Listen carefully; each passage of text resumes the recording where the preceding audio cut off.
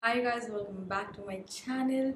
So in today's video, I'm going to swatch all my Kay Beauty Bullet Matte lipsticks and I have I think 10 shades. So they have nudes, pinks, plums, reds. So I have definitely something from each range and yeah, I'll just share my review and the swatches. I shot this video one more time. I did not like the footage so I scrapped the entire video and I'm shooting it again. So yeah, if you're new here, do subscribe to my channel. I am being regular here, consistent, trying to put up content. Anyways, follow me here and if you want to connect to me, I'll leave the links of my other social media platforms in the description box. You can check that out, all the links and if I have any coupon codes of any website, I'll definitely that also in the description box for you guys. Let's get started. Before starting off with the video which i already did that is why i changed my lipstick i just want to show you the packaging which i completely forgot to show. So i first of all i love the packaging. It feels very luxury. And Kay Beauty as a brand i will um, explain it like a affordable luxurious brand. It is definitely not pocket friendly if you're saying because a thousand rupees lipstick is definitely expensive but again affordability is very subjective so definitely you choose for you what you want to invest your money in. But i'll definitely say that everything i have used from Kay Beauty has been worth the money and more. They have you know they actually give you the product that will be exact value of the money that you're paying them.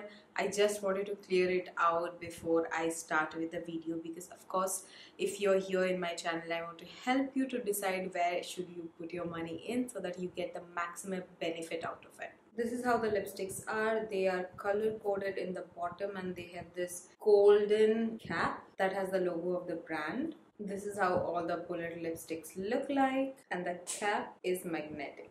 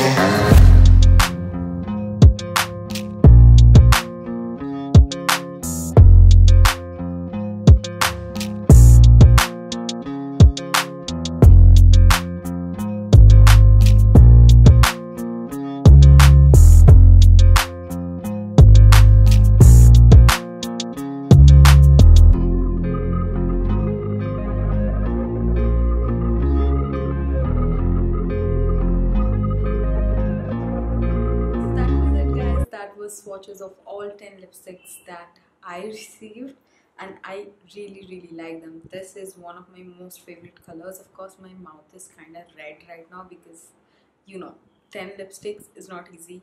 But yeah, this was the video. I hope that you liked it. Check the descriptions if you want to buy something and you will get the link of it.